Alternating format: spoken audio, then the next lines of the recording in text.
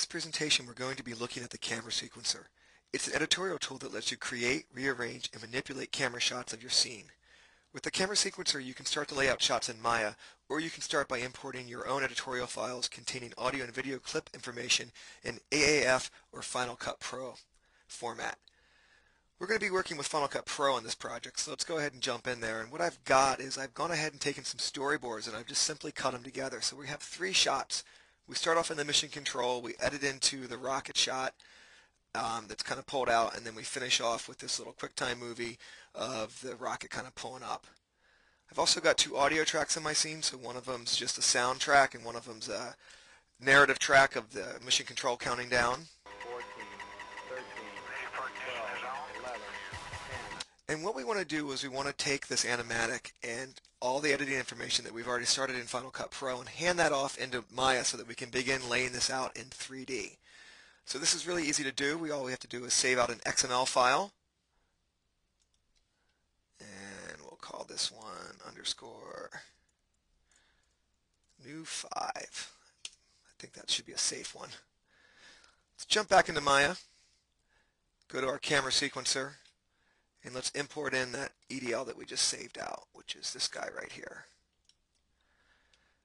So let's go ahead and frame the sequence, and I'm going to overscan the camera so that we can see it a little bit more clearly in the viewport.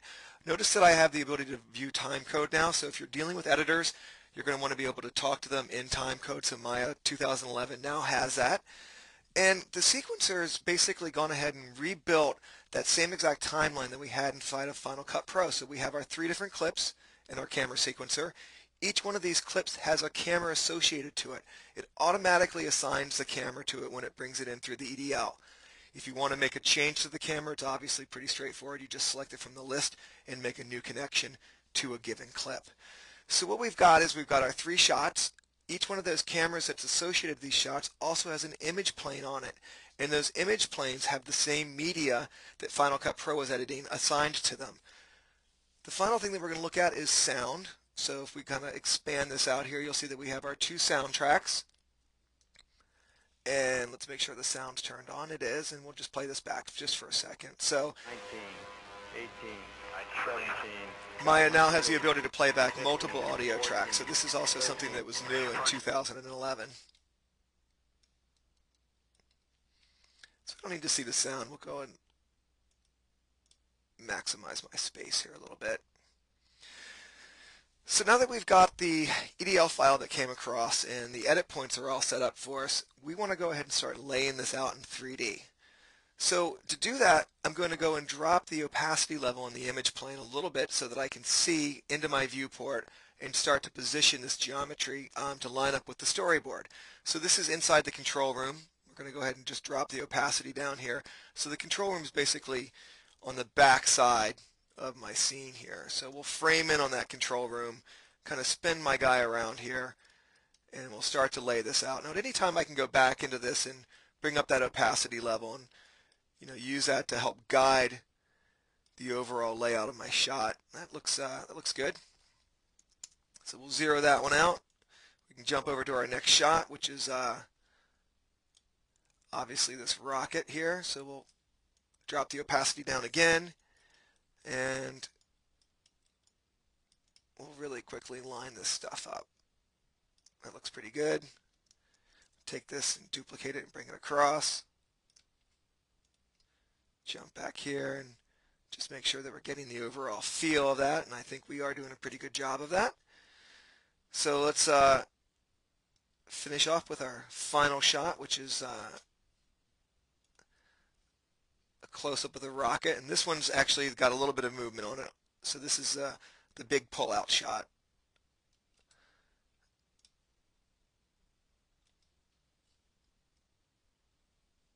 So we'll just frame it on that.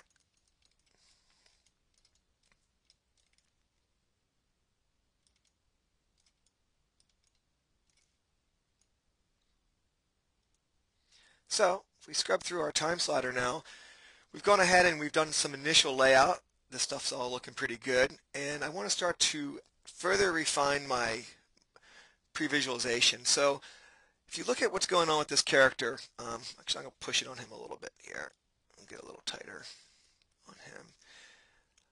I like he goes and gives me the thumbs up.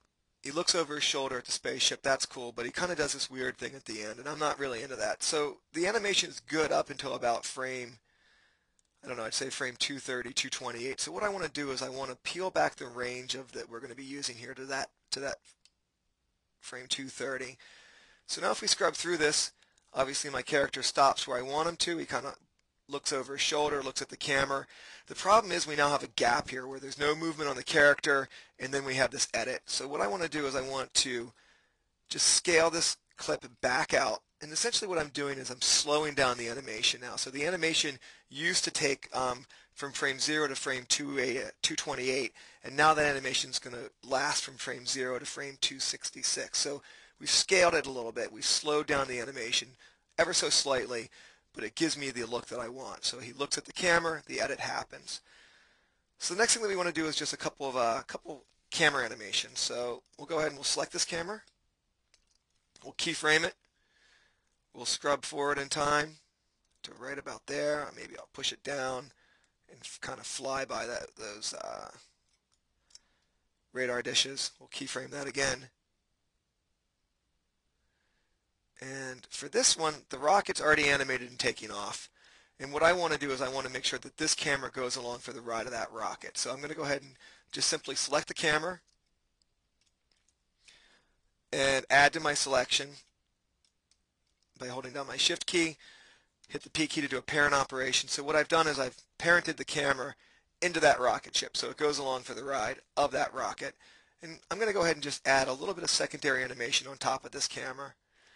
So again, we'll just make sure that we have the camera selected. This is my starting point. I like that. We'll go ahead and we'll keyframe it. Right about here, the camera is taking up. I want to get onto the top side of the camera.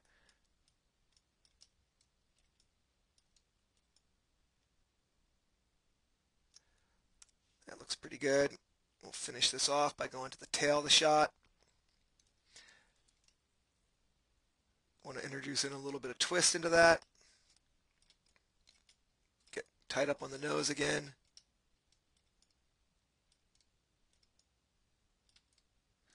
And we'll just keyframe that. So looks pretty good. The camera is a little abrupt on the takeoff on that shot, so I'm going to just go ahead and pull up my graph editor for that guy. Let's frame everything and just put some flats, tangents on that. So it starts off a little nicer.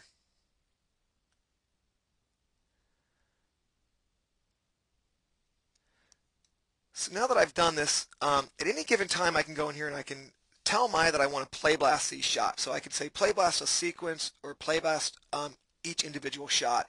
Once you've done the play blast of these shots, they're going to be stored off the disk and any changes that I've made or if I wanted to update the editorial room's uh, take of what I've got, I can just basically do the play blast, and then export out an EDL file. That EDL file will basically then have references to my play blast as opposed to the original information that we brought in. So it allows you to basically take stuff, refine it in Maya, hand that back to the editorial department. And to, uh, to finish this off, we're going to go ahead and turn on our sound. Let's jump over to our channel box. I got a little fluids in, in here. We'll rewind our sequence. 19. We'll play this back. 17, guidance release, 15, 14, 13, 12, 11, 10, 9, having mission sequence start. Five, the engine's now building up to 7.7 million pounds of thrust.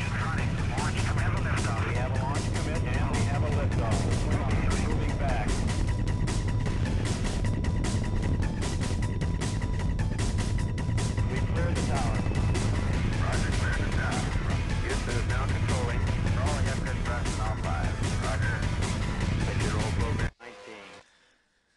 So that's just a quick example of how we can use a new camera sequencer to start to cut together some clips inside of Maya or take some information from some other applications that support AAF or Final Cut Pro. And um, it's a great new tool.